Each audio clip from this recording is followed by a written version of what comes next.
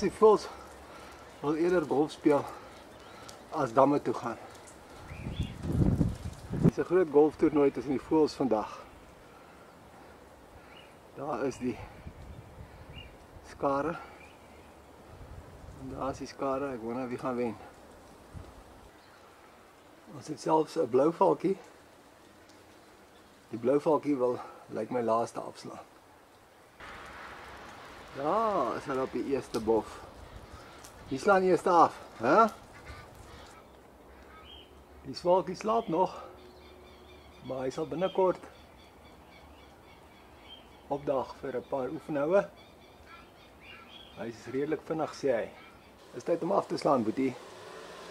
Nie nou hier rondkarring nie. Daar's hy. Laat jy gaan, laat jy gaan. Kransduifie. Is jou afstand tyd, Boetie. Wat sien jy?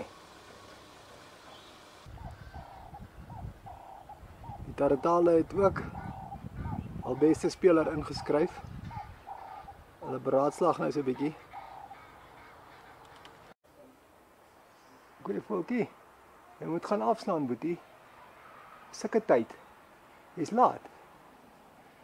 Dink jy gaan wen? Nee, ek weet voel.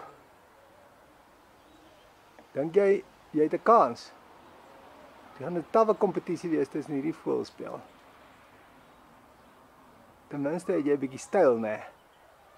Kom, gaan slaan af, boetie. Julle kolgaanse wag julle beurt mooi rustig af, né? Ek dink julle moet afslaan. Laksman. Kan jy golf speel, boetie? Ek dink jy kan. Dat is gaan, boet. Spreus sal op die eerste setperk soek hulle bal. Daai bal gaan julle nie kry nie, julle twee simpel spreus. Hy lê nie daar nie. Hy's in die dam. Het julle ook julle bal verloor? Ek dink hy's in die lang gras swaar. Daai bal is gone. Kom julle bond. Die bond kiwita. Is julle bal ook weg? Daai ou wil set. Die bond kiwita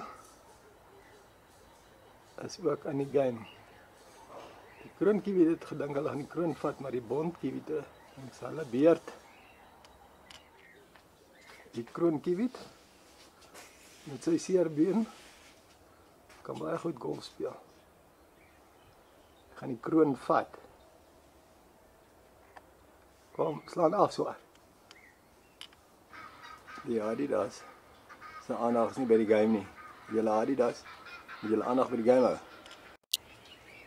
maak gereed om af te slaan na op die 9de vir die finale gaatjie. Ons wonder wie gaan die wenner wees. Daai kolgans het die beste uitsig.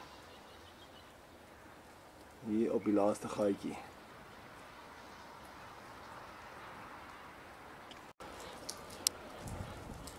Daar is die toeskouers op die laaste gaatjie.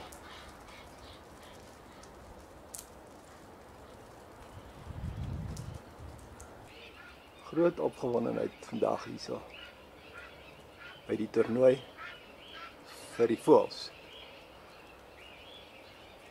Die golftoernooi wat hulle noem die inperkingsgolftoernooi. Ons gaan almal kyk wat het op hierdie laaste gaatjie gebeur. Ek dink ons het 'n wenner. OK, die toernooi is nou verby. Almal gaan nou huis toe. Cheers.